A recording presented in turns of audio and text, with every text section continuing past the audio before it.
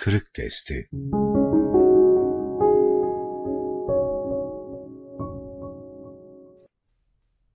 Mümin, Allah'a intisabı, iman sahibi olması, İslam'la şereflenmesi gibi izzet vesileleri sayesinde azizdir. Hazreti Ömer'in ifadesiyle söylemek gerekirse, Allah bizi İslam'la aziz kılmıştır. Kim bunun dışında izzet vesilesi ararsa Allah onu zelil kılar. Hakiki anlamda aziz olan Allah'tır.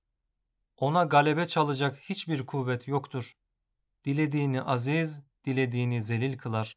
Havl ve kuvvet ona aittir. Onun havl ve kuvvetine iltica eden kimsenin aşamayacağı bir engel yoktur. Mümin azizdir, izzeti ondandır ve o kendini sadece Allah karşısında zelil görür. Yani bir kul olarak fevkalade bir tevazu, mahviyet ve hacaletle hareket eder. Allah karşısında iki büklüm olur, kemerbeste-i ubudiyet içinde el pençe divan durur, başını yerlere koyar. Sadece ona yalvarıp yakarır. Allah'a kulluğu ölçüsünde aziz olacağını çok iyi bilir. Gerçek kıymet ve değerin ona kulluktan geçtiğine canu gönülden inanır. Ehli dünyanın büyüklük vesilesi saydığı şeylere kıymet vermez. Onlar karşısında eğilmez, dimdik durur, izzetini muhafaza eder. Ne dünyanın cazibedar güzellikleri, ne makam ve mansıp, ne de servet-ü saman karşısında yön değiştirmez, değerlerinden taviz vermez. Sırtını Allah'ın havl ve kuvvetine dayamış, beklediğini ondan bekleyen böyle bir kişi, Bediüzzaman'ın tabiriyle kainata meydan okuyabilir. Bir hadisi şerifte müminin izzetinin gönül tokluğuna sahip olmakta ve insanlara el açmamakta olduğu ifade edilir. Böyle hareket edenler müstani insanlardır.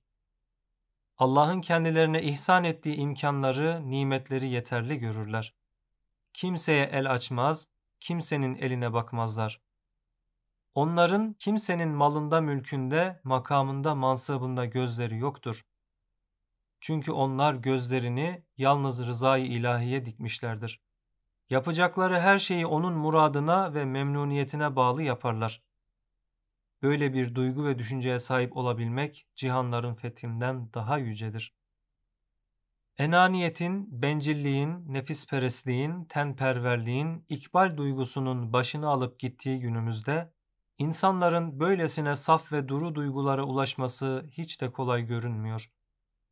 Yürünen güzergahlar çok kirli, geçilen köprüler çok tehlikeli, karşımızda duran manzaralar çok kafa karıştırıcı, meydana gelen olaylar baş döndürücü, bakış bulandırıcı mahiyette.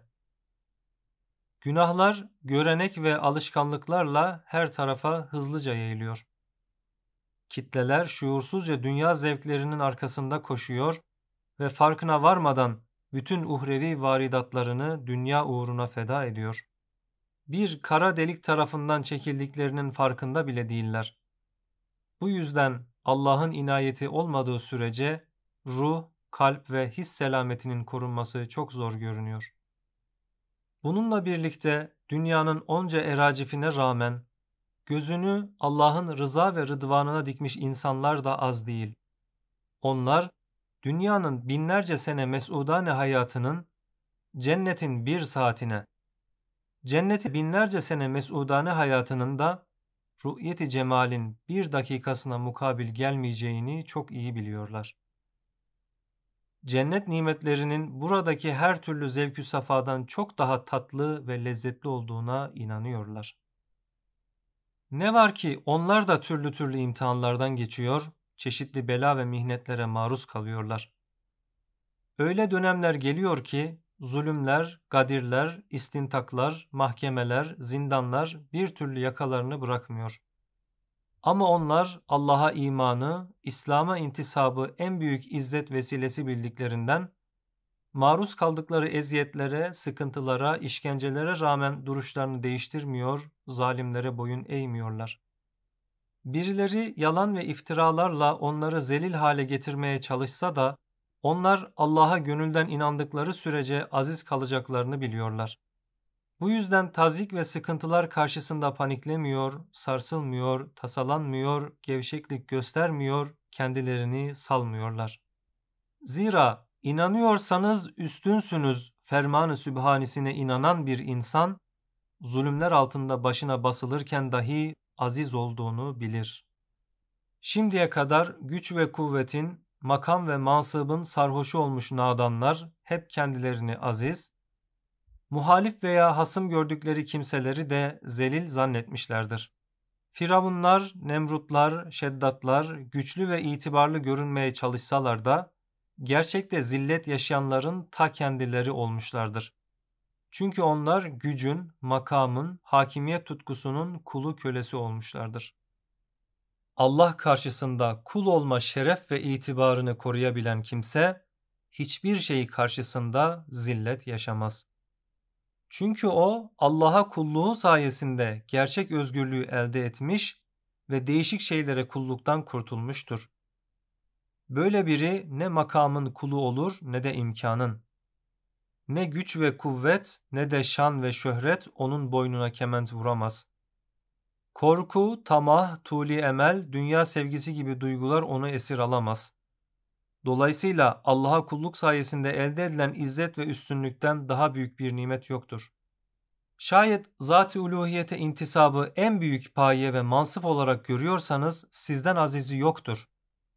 Hz. Resulü Zişan'a sallallahu aleyhi ve sellem ümmet olma şerefini iliklerinize kadar hissediyorsanız sizden azizi yoktur. Din olarak İslam'dan razıysanız sizden azizi yoktur. Varsın bir kısım zalimler sizi oradan oraya sürgün etsin, aklı hayale gelmedik zulüm ve gadirleri size reva görsün. Bu intisabınızı devam ettirdiğiniz sürece hep kazanma kuşağında yaşıyorsunuz demektir. Şimdiye kadar başta nebiler olmak üzere niceleri füccar ve küffarın şerrinden dolayı yerini yurdunu terk etmek zorunda kalmıştır. Kur'an'ın da ifade buyurduğu gibi Hz. Musa Firavun'un şerrinden emin olmak için Medyen'e firar etmiştir. İnsanlığın iftar tablosu aleyhissalatü vesselam kendi dönemindeki zalimlerin müminlere uyguladıkları ağır baskılar yüzünden maskat-ı re'si olan Mekke-i Mükerreme'yi terk etmek zorunda kalmıştır. Hazreti Nuh, Hazreti Lut, Hazreti İbrahim gibi daha nice nebiler kendi dönemlerindeki zalimlerin şerlerinden, hile ve tuzaklarından kaçmışlardır. Bu bir zillet değildir. Bilakis fefirru ilallah ayetinde ifade edildiği gibi Allah'a firar etmek, ona yönelmek, ona sığınmaktır. Günümüzde gönüllerini hizmeti imaniye ve Kur'aniye'ye veren baba yiğitlerin cebri lütfi olarak başka diyarlara hicret etmelerine de bu gözle bakılabilir. Belki bazıları onlar hakkında haberler yapacak, akla hayale gelmedik yalan ve iftiralar uyduracak, yakalama kararları verecek, bültenler çıkaracak ve gittikleri yerlerde bile onları rahat bırakmayacaklardır. Fakat bütün bunların ahirette nasıl karşınıza çıkacağını bilemezsiniz. Belki de bu bültenler öbür tarafta meleklerin ellerinde birer beraat fermanı olarak size sunulacak. Bu dünyada hakkınızda verilen mahkumiyet kararları öbür tarafta sizin kurtuluşunuza vesile olacak. Hasılı her ne kadar birileri kin ve nefretle bu dünya hayatını sizin için cehenneme dönüştürmek istese de siz istikametten ayrılmayacak, izzetle ölmeyi, zilletle yaşamaya tercih edeceksiniz. Çünkü böyle bir durumda Allah'ın ve Resul Ekrem'in teveccühünün sizinle birlikte olacağından hiç endişe etmeyeceksiniz. Siz izzeti başka yerde değil, sadece Allah'a kullukta, Habibi Zişan'a ümmet olmakta ve dine tutunmakla bildiğiniz ve aradığınız sürece kazananlar sizler olacaksınız. Kırık Testi